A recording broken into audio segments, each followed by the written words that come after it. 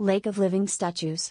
Animals that touch this lake in Tanzania are instantly turned into eerie statues, perfectly preserved by the water itself.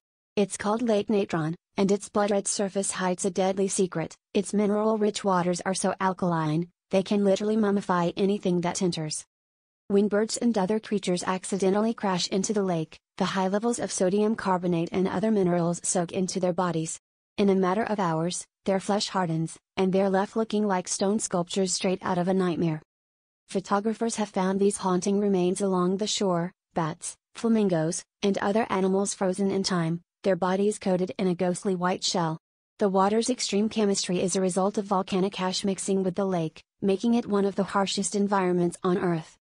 Despite the danger, some species, like flamingos, actually thrive here, using the toxic lake as a safe haven from predators. Lake Natron's bizarre ability to turn life into statues has made it one of the world's most mysterious and chilling natural wonders.